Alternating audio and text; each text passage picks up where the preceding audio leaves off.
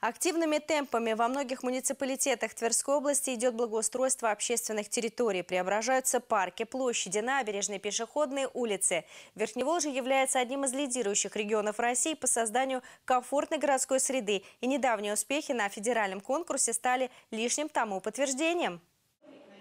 Сразу четыре муниципалитета Тверской области стали победителями шестого всероссийского конкурса лучших проектов создания комфортной городской среды в малых городах и исторических поселениях. В Старице – осовременен Комсомольский сквер. В Лихославле благоустроят привокзальные площадь и переулок, вплоть до площади Победы. В Весьегонске обновят часть Приморского парка, а в Красном холме – пространство перед Домом народного творчества. Я очень благодарен, хотел бы поздравить всех коллег с этой победой. Четыре – это очень хороший результат.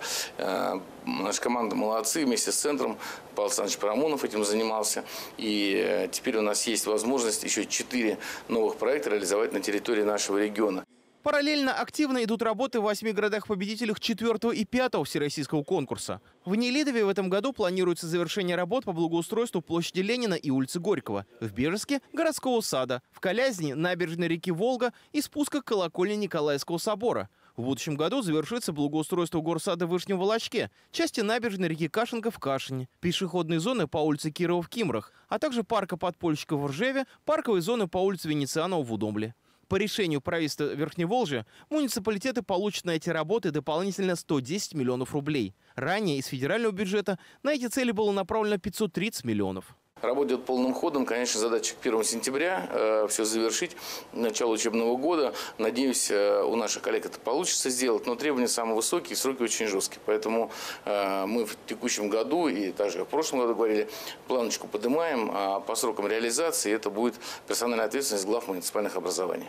Всего за время проведения всероссийского конкурса создания комфортной городской среды в малых городах и исторических поселениях Верхний Волжье стало одним из лидеров в России по числу отобранных заявок. Всего с 2018 года поддержку получили 19 проектов по комплексному благоустройству общественных пространств. За это время в Тверскую область привлекли почти 1 миллиард рублей. Реализованы крупные проекты победителей в Бежецке, Торопце, Осташкове, Старице, Конакове и других городах. Продолжаются работы в Колязне, Вышнем Волочке, Кимрах, Кашне и других муниципалитетах.